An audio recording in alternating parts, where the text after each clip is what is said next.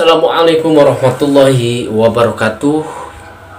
Para pecinta kesucian jiwa Ikhwan akhwat Torikoh Qadiriyah Naqsyabandiyah Pondok pesantren Surjalaya Sirna Rasa Yang sudah mengakui Kemursidan Abah Awas sebagai penerus dari Kemursidan Abah Anu.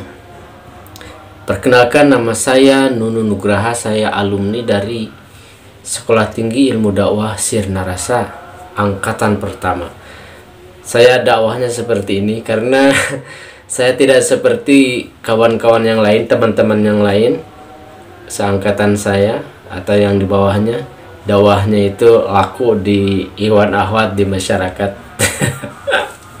Beginilah saya. Jadi saya Pak melalui YouTube saja. Semoga tidak mengurangi uh, karakter saya sebagai dai yang sudah lulus dari sekolah tinggi ilmu dakwah Sirna Rasa. Ya, perkenankan saya kita berbincang-bincang saja. Saya menganggap semuanya ada hadir. Jadi mohon maaf bila ada tata kata yang uh, tidak berkenan ya ketika saya mengucapkan kalimat-kalimat. Kita ngobrol saja, kita sharing barangkali ada yang lebih paham atau punya pengalaman atau punya pemahaman ya tentang obrolan ini silahkan uh, disampaikan bisa melalui kolom komentar nanti saya akan jawab ya insya Allah jadi hadirin ikhwan ahwat pemirsa yang berbahagia para pecinta kesucian jiwa. Kita sebagai ikhwan torikoh khususnya murid pangersa Abah Awas. Yang mana murid itu harus senantiasa kalau dalam versi toriko itu tumut ya turut tumut kanu jadi guru. Kalau istilah dari pangersa abah ijtima istima dan itiba berkumpul bersama pangersa guru guru mursyid syekh mursyid mendengarkan apa yang disampaikan oleh syekh mursyid.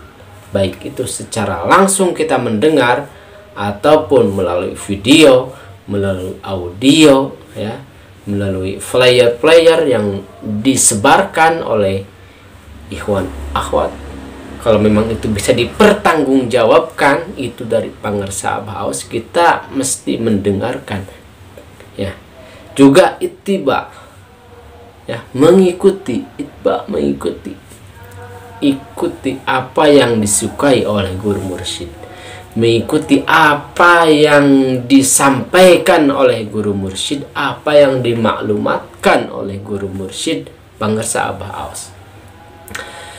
Berbicara maklumat ya.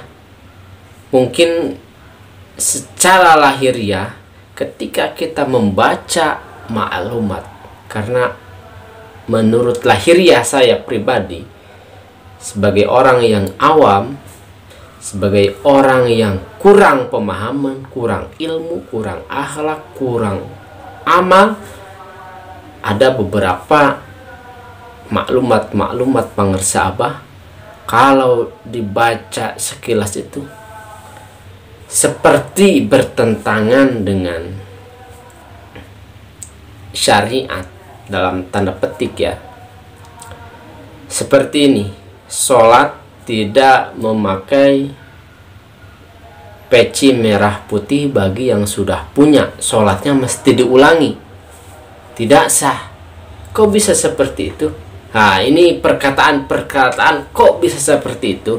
Kepada guru kepada maklumat guru agung kita mesti menghilangkan itu. Bertanya kenapa?